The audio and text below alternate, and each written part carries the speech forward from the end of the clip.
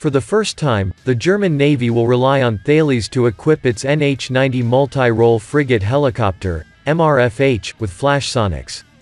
The flash system, folding light acoustic system for helicopters, is currently the leading dipping sonar on the international market and has become the benchmark system for the world's major navies.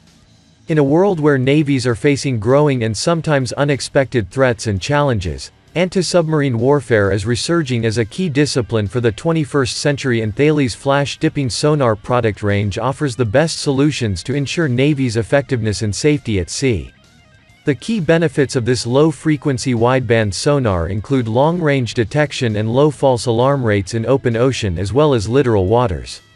Associated with an active and passive sonobuoy processing system, Flash provides an unrivaled anti-submarine warfare capability. The shortest dive cycle time, combined with the latest Thales Blue Tracker, Sonics, buoy processing capability, provides unmatched area coverage. This version of the Flash Sonics includes the latest technology available. Already ordered or in service today in 18 navies including US Navy, the UK Royal Navy, the French Navy, the Royal Australian Navy, the Royal Norwegian Navy or the Republic of Korea Navy, Flash has demonstrated its unrivaled capabilities and reliability at sea in any environment. We are proud to have been selected by the German Navy and NH Industries to equip their NH-90 multi-role frigate helicopter with our Flash Sonics anti-submarine solutions.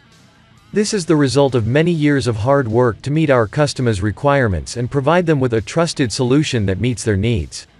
The German Navy will receive the most capable variant of Flash Sonics that Thales has ever delivered, for the best operational service, including the Sono flash processing. Gwendolyn Blandin Roger, Managing Director Underwater Systems, Thales.